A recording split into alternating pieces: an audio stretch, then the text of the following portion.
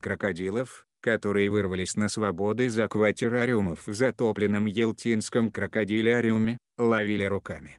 За пределы помещения никто из питомцев не сбежал, сообщил владелец крокодиляриума Виктор Желенько.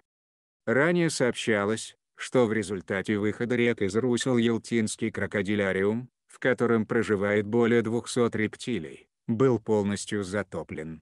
Крокодилов спасли, многих успели вынести, во время потопа большие крокодилы остались в помещении.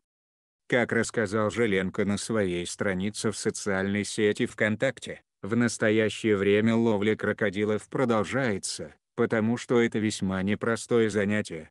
30 рептилий уже пойманы, но многие пока остаются на свободе. В результате подтопления ни один из крокодилов за пределы крокодиляриума не сбежал успокоил жителей Ялты и гостей Крыма Виктор Желенько. Владелец крокодиляриума опубликовал видео ловли рептилий, которые прячутся в затопленных коридорах. Каждую особь ловит два человека.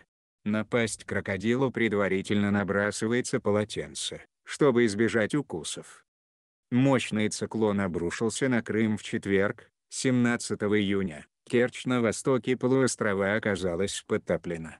На следующий день ливни дошли до Ялты. В результате реки вышли из берегов, вода затопила улицы и дома. По последней информации, в результате удара стихии в Ялте пострадали 18 человек. Есть один погибший, одна женщина пропала без вести. Циклон затронул также Феодосию, Кировский и Ленинский районы Крыма.